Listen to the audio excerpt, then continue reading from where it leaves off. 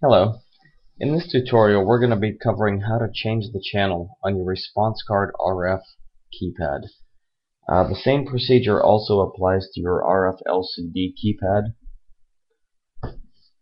To start, first click on either the channel button or on some of the older versions of the keypad the go button.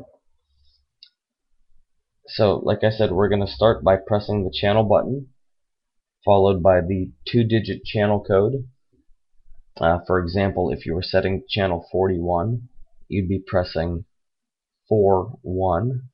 Or if you were setting to channel 8, you'd be setting to channel 08. So, to set to channel 41, press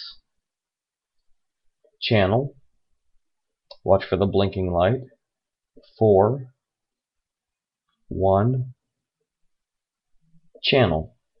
And you know you've successfully changed the channel if you get a green light here on this uh, this blinking LCD right here.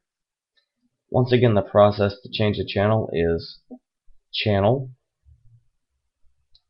4 1 channel.